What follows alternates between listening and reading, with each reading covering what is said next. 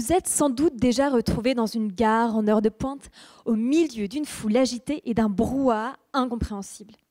Mais maintenant, au lieu de cette image floue, imaginez que vous perceviez en détail tout ce qui se passe autour de vous.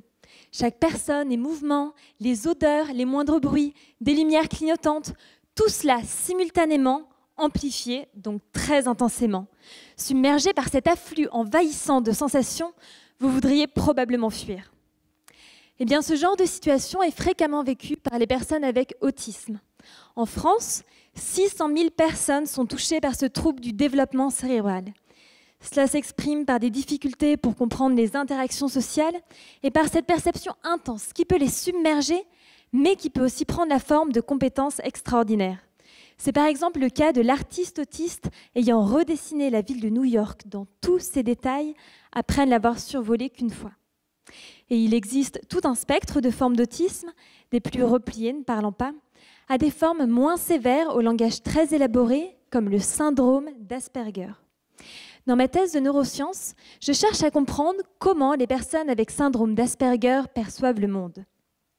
Mes expériences ont montré que ces individus ont une perception très fine, mais qui peut parfois nuire à la compréhension. Par exemple, ils vont percevoir un sourire avec tous ses détails plutôt que sa forme globale. Ils auront donc plus de mal à bien interpréter.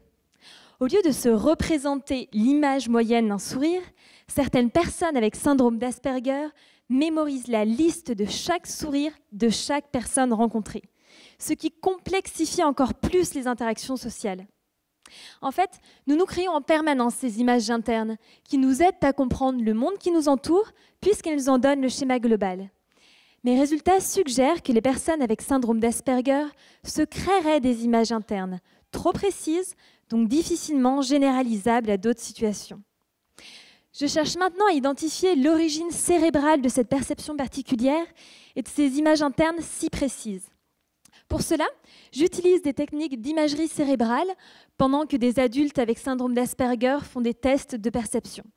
Je peux alors comparer l'anatomie et le fonctionnement de leur cerveau par rapport à un groupe témoin afin de déterminer s'ils utiliseraient un réseau cérébral différent à l'origine de cette perception atypique.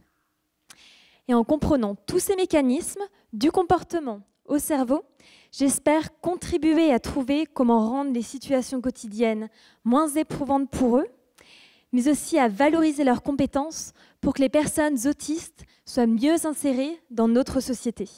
Merci.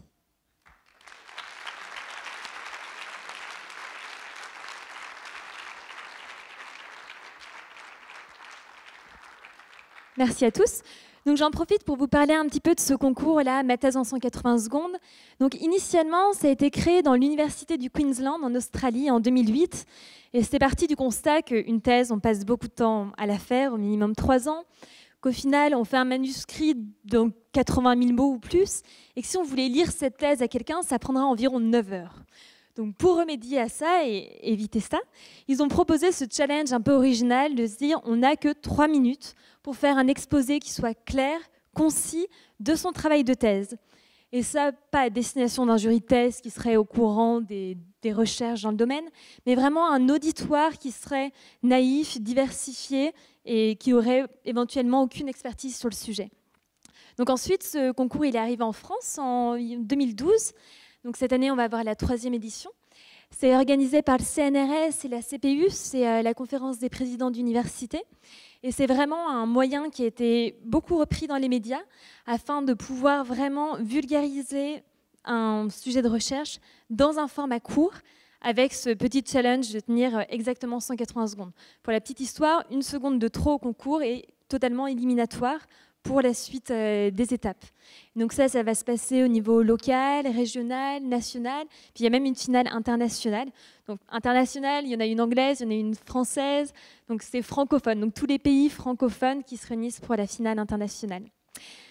Et je suppose qu'il y a aussi pas mal de doctorants dans, la salle, ou, ou quelques-uns.